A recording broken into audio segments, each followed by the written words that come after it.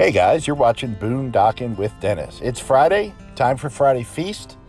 We're going to head to Pizza Hut and try a uh, Pizza Hut Beyond.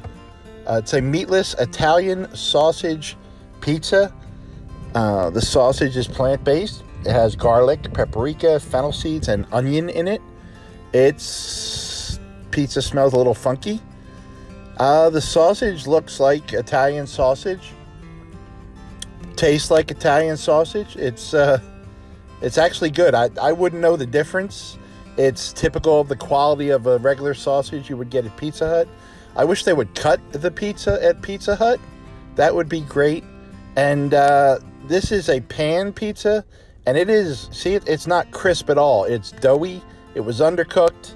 It would be nice if they at least cooked it right. You could get a more accurate uh, shot at uh, the taste. It's really bland. I'm going to add uh, some red peppers, salt, and oregano, kick it up a little bit.